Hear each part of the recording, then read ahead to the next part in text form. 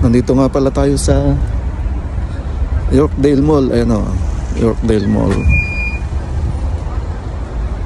Ngayon lang ulit tayo nakapasal dito. Mga ilang taon na.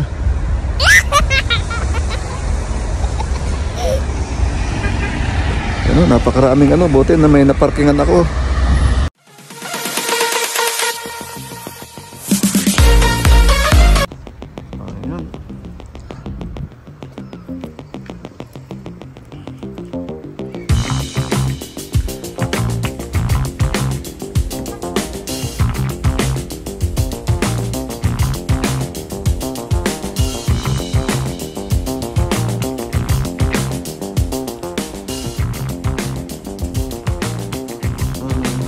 401.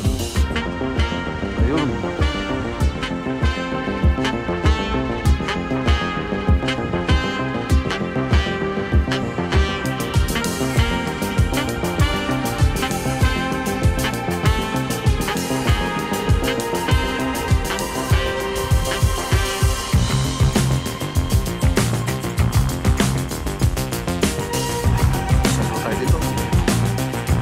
Sala natin ang Yorkdale Mall.